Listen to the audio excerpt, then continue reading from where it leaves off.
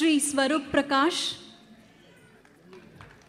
Doctor Rashmi Nandkishore.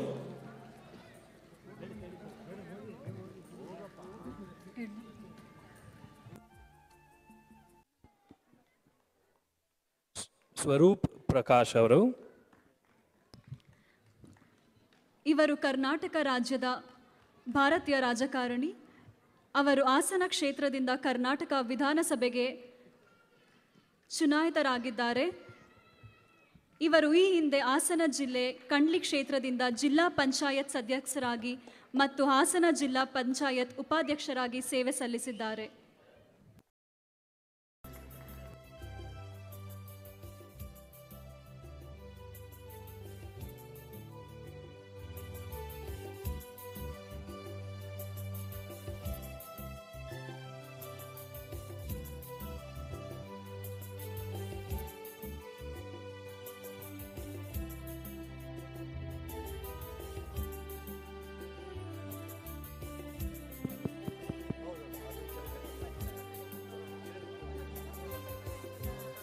ಯಾರಲ್ಲ ಕರೆ?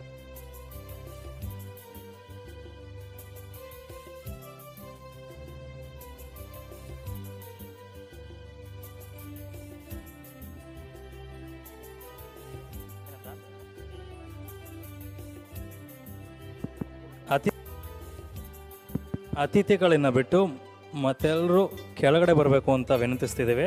ಬರೀ ಅತಿಥಿಗಳು ಮಾತ್ರ ವೇದಿಕೆ ಮೇಲೆ ಇರಬೇಕು ಇದಾದ ನಂತರ ಕಾರ್ಯಕ್ರಮ ಮುಗಿದ ನಂತರ ಎಲ್ಲರೂ ಫೋಟೋ